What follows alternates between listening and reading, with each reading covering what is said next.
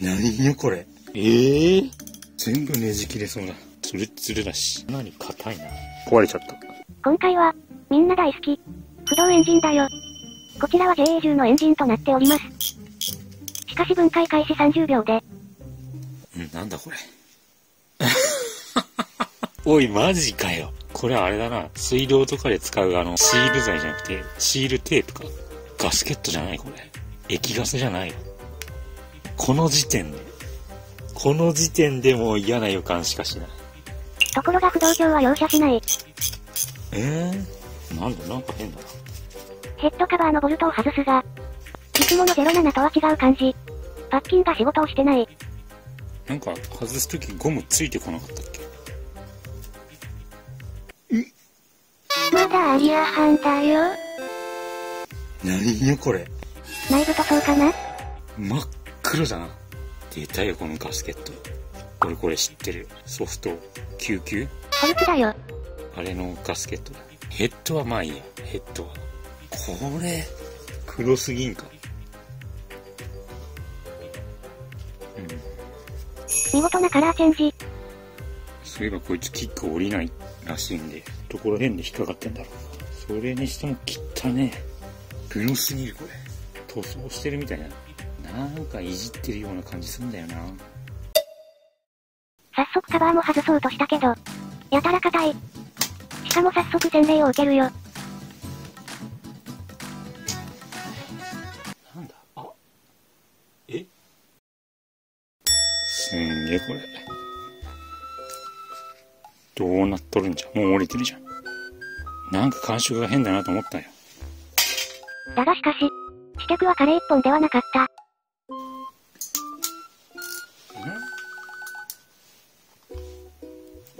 わ、なんだこれ。うわ、すっげえ、なんじゃこれ。緩めるだけなのにもう感触がおかしいんだけど。なんだこれ、どうなってんだえー、いやいやいや、おかしいやろ、これ。どんなトルクで締めてんだ、これ。うわこれはおかしい。ここもなんかおかしいし。うわこれもうあれだな。アホみたいなトルクで締めて、もう折れてるんじゃないかな、これ。すげえぞ、これ。もう感触がおかしいもん、これ。こんな感触になるわけね。いやいやいや。ええー、ああ、これもういったかいいきそうだな。回ってんのか、これ。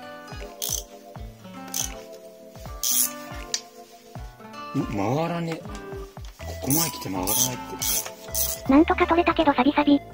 折れなかったのは運が良かっただけかな。なんだこれ。いやいや。とりあえずここのネジを外せたので、ここ外してみようかなと。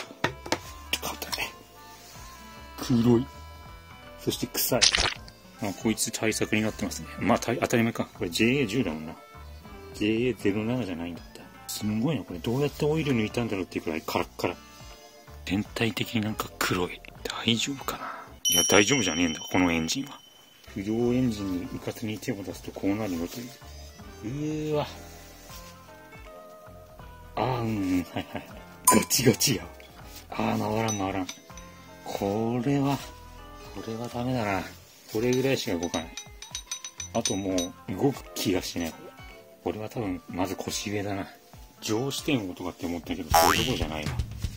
もちろんヘッドのボルトもおかしいよ。もう手に伝わる感触が全部やべえ。これはトルク管理しねえな。締めれるだけ締めてるって感じ。こんな硬いわけね。怖えもう全部ねじ切れそうだ。おっかね。うん、指じゃ動かねえし。怖い怖い。ケットもいらないわけで。うわ、これすげえな。こんなつけなくていいはず JA10 になると、ここのカムスプロケットのこの部分のボルトが中央1本になりますね。JA07 だとこう2本ついてるんですけど、まあ、1本の方がやりやすくて楽っちゃ楽かな。まあ、少しこういうところでバージョンアップというか改良がされてますね。でもちょっと上視点だななんだのってできないので、まずこれを取ってしまいます。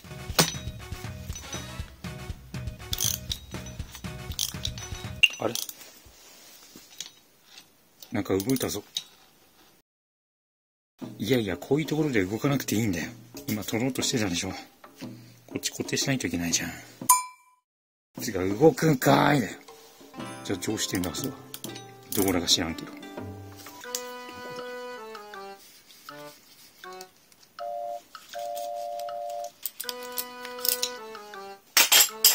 一応腰上が外せんのかな来た来た来た来た。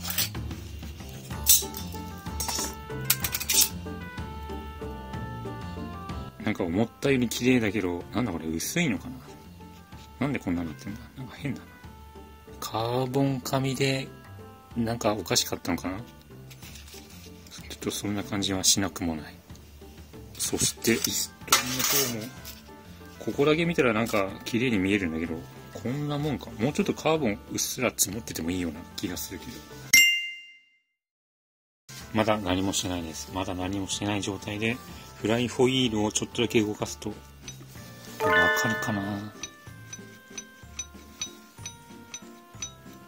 こんな感じ？こんな動きだっけ？ピストンって。なんかふにゃふにゃしてる気がする。こっち側だけふわふわ浮いてるように見えるんだよな。これは腰下行ってる可能性が。勝ってあ、でも緩んだ。うわなんでこんなカットなんだ？ようやくシリンダーパージ。よ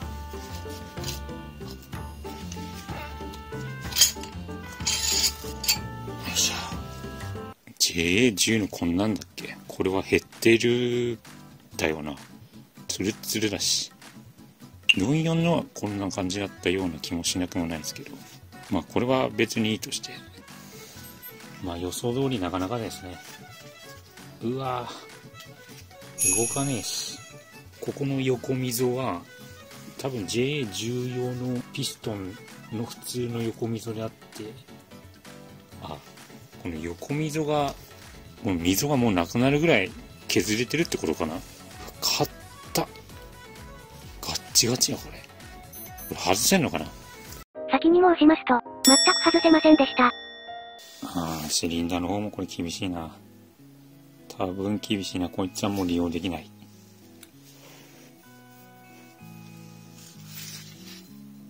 指で触る分にはね、まだ大丈夫な気がするんだけど、まあ、軽くホーリングして手やればいけなくもなさそう。とりあえずこっちも外しましょう。こちらは多少硬かったけど、ボルトはすんなり外せたよ。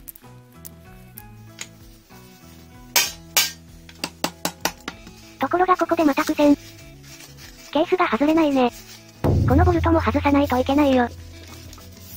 ちなみに07は外さなくても取れる。えー、マジかよ。えー、何これ。黒。JA10 はここのクラッチのロックナットも外さないと取れないみたいですね。この表側のカバーでこういう風になってるんですけど、これを外さないと取れないんですね。知らなかった。これじゃあどうやって取る？え？こんな一体なのこれ。すげえな。どっからどこまで一体なんだこれ？みんな大好きフィルターチェック。うわ。ん？これなんだろう？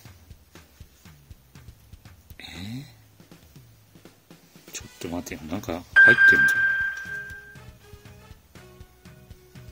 ゃん。なんだこれ。あ、ゴムだ。え何のゴムだろう。なんか結構入ってんぞ。何かが入っている。かなり収穫されている。いや、めっちゃ入ってんな。なんだろう、これ。ああ、はいはいはいはい。カムチェーンテンショナー、あの丸いローラーだね。ガイドローラーか。ガイドローラーの破片ですね、これ。ものの見事に全部ここに来てるわ。逆に考えるとよくできてね、やっぱ。ちゃんとここでセーブしてる。本日のお料理。こちらですね。ガイドローラーの破片とガイドローラーの細かいゴムの破片ですね。この網にですね、全部ザックザックに刺さってて取れないですね。すごいこれ。ヤスリみたいになってる。この穴一個一個に破片が刺さってて。オイルフィルターというか、これ結構役に立つんですね。さあどうなってるかな？意外と素直に。こんな感じ。結構なスラッジだと思う、これ。まあ一番はこっちでしょう。うん。結構なもんだ。うわ。まあでもこのぐらいはもう想定内だな。すご。砂みたいになってる。これ全部スラッジ。いやすげえな、これ。このロックナットを外して、今度ここのロックナットを外すんですけど、もうここのロックナットが明らかにおかしいですね。普通は一回緩んだらスルスル回るんですけど、ずっと回る。と回るというか、なんだろう、このロックナットでずっと緩め続けないといけないみたいな状態になってますね。ロックナットを思いっきり舐めてしまいました。どうもですね、あの、固着してるみたいですね。めちゃめちゃ固着してて、回ってるように思ってたのはただ舐めてただけっていう。ちゃんとはめてグッと力を入れたんですけど、多分こいつかなり固着をしてるんではないかなと思いますね。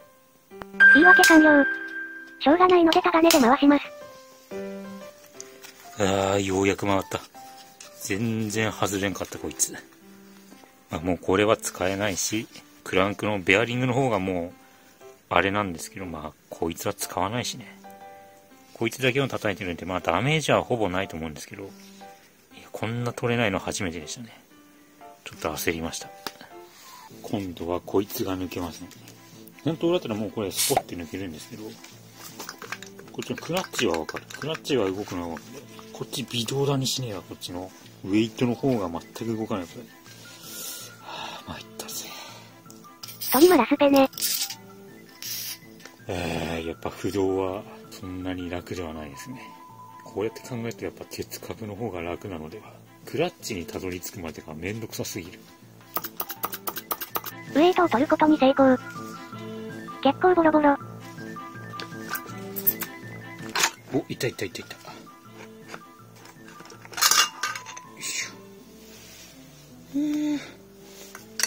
どれだ？うわ、切ったな。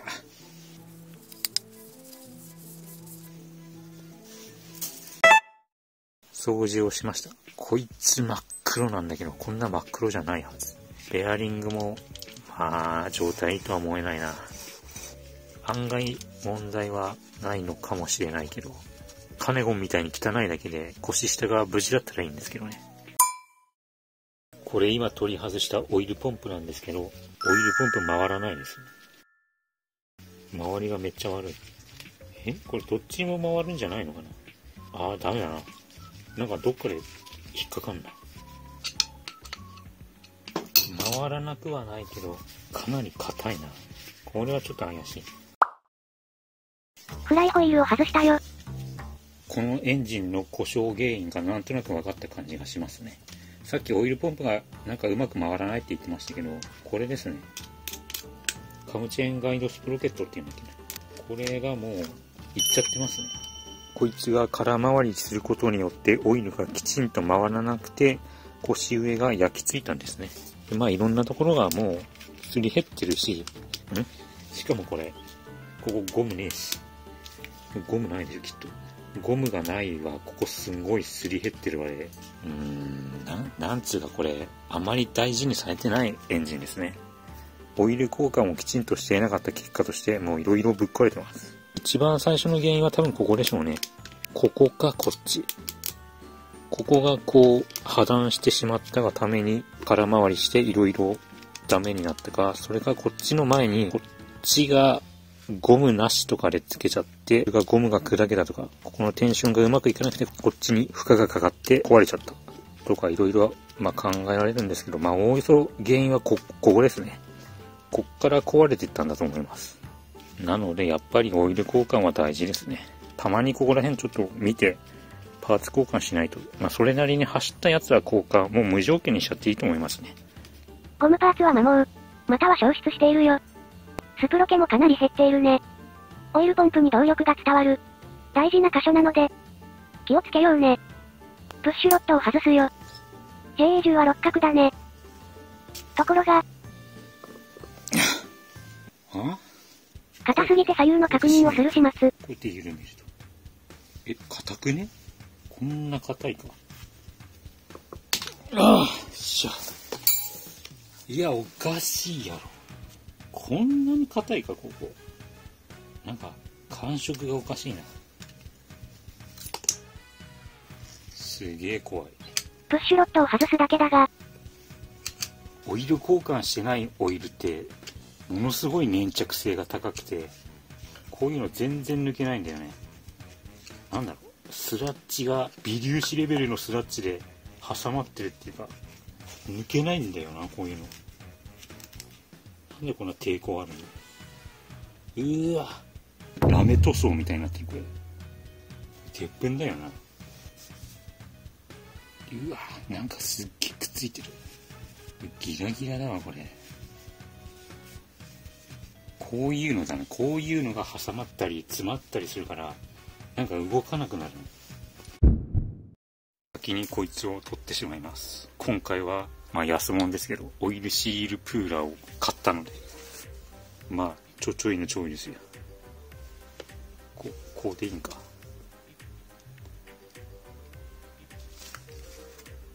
お取れた取れたまあエンジンがまだ新しい部類なんで余裕ですねよかったカネゴンの時みたいに戦うのかな思った ああやってらんねえよクランクケースを分解するよ。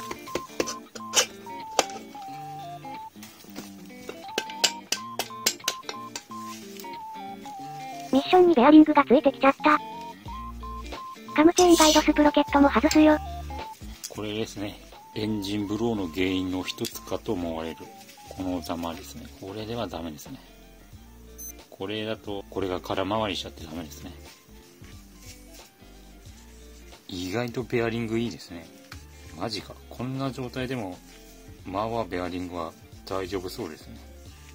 じゃあ株プロなんなんてなっちゃうんですけどこれはクランクケースのベアリングがダメになってたんでバラしたんですけどこいつなんか大丈夫だな。ちょっと悔しいな。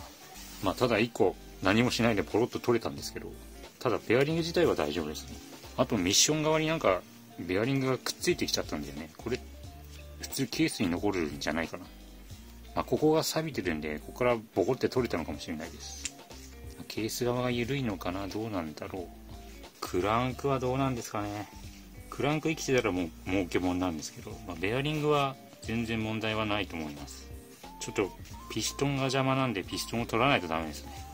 外したクランクなんですけどベアリングは問題はないですね。若干ケースの方か多分ケースの方なんですけどちょっと動いてるかもしんないですねケースの方で。ここにあの接着剤をつけて使えば問題はないと思うんですけどこのピストンはかなり固着してる。でピストンピンはもうピストンピンは全然動かないのででこっち側のクリップなんかもほぼ動かないで取れなくてちょっとこれはどうにもならないのでまあ新しい工具をちょっと買ってみないとダメかもしれない。でクランクそのものは多分大丈夫ですね。この横はうんちょっと遊びはあるんですけど縦の方は縦はもうほとんど動かないので意外とこいつは大丈夫そうなクランクです。ピストンはこんな感じですね。やっぱりこっち側が削れてますよね。裏側になるとまあ、まあ多少は原型をとどめている。溝は本当はやっぱり3つあるんですけど反対側はすごいですねこれ。溝がなくなってるから。でこのスカートもわかるかな。ここっち側ですね。画面下の方がもう曲がってるんですよね。でリングなんかもほぼ固着。セカンドリングは多少ちょっと動くけどトップとかオイルリングもこれ動いてないですから。まあなかなかですね。がっつり焼き付いて止まっちゃったっていうよりは軽い焼き付きだったのかな。それでも頑張ってなんか動かしたんじゃないかなこれ。走らせたというか。だからこんなになってんじゃないかな。でキックが降りないってなってたんですけどカムシャフトを回した時にあ動いたってなったんでどうにもなんないぐらい固着してたわけではないですね。あんまいい状態でもないんですけど。本当だったらこれはバランス取ったりとかした方がいいんですけど。まあ素人が下手に手出すぐらいだったらこのまま使った方が多分いいですね。サービスマニュアルとかで見るとここの横ブレの許容範囲って結構あるんですよ。え、そんなあっていいのっていうぐらいあるんですけど、JA07 のここの大胆部の、え、サイドクリアランスっていうのは0.60です。これが0.20です。で、これが、ここが0.60以内なら OK なんですけど、もう0.2で結構きついんですよ。0.30。いや、入らんって。どうやったって0.6って相当ですよ、これ。ここのクリアランスが0.60以上になるっていうのは、よっぽどなんですよ。縦がブレてないとなると、このクランクは生きてますね。親分は大丈夫でしたね。子分は無事死亡って感じ。素人がちょっといじったぐらいで言うのもなんですけど、今のとこ自分が触ったことのあるこのホンダの株のクランクなんですけど、意外と頑丈ですね。意外とって言うとなんかあれなんですけど、想像以上に全然頑丈。バランスがどうこうっていうのもあるかもしれないんですけど、レースでもしない限りはそんなにひどく崩れないとは思うんですよ。腰上が死ぬっていうことは結構あるっぽいんですけど、クランクが死ぬってよっぽどだと思うんですね。クランクを壊す方が難しいんじゃないかな。ボアアップをした場合は、よく死ぬらしいんですけど、まあ、50cc なんかよく死んじゃうらしいんですね。あの、88cc とかでクランクが50のままとかだと、まあ、結構な寿命縮むみたいですけど、カネゴンを見た時にも思ったし、カグプロを見た時にも思ったんですけど、腰下はね、頑丈だと思いますね。バラした腰下なんですけど、汚れてるっちゃ汚れてるんですけど、ちょっと拭いただけでも綺麗になるぐらいで、腰上の方がひどかったですね。なんなら、もうなんか汚れだけだったらカネゴンの方がはるかにやばそうな感じでしたけど、不動エンジンということを考えれば、なんか思ってたよりは、全然状態がいいですね。で、わざわざ JA10 のエンジンをここまでばらしたのには、ちょっと確認したいことがあって、検証をするパーツを今からちょっと紹介したいと思うんですけど、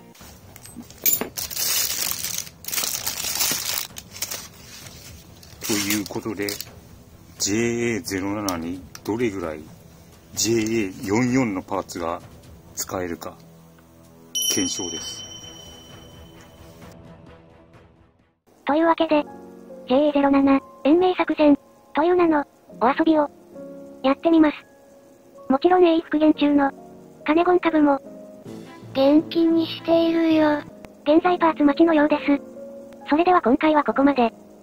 ご視聴ありがとうございました。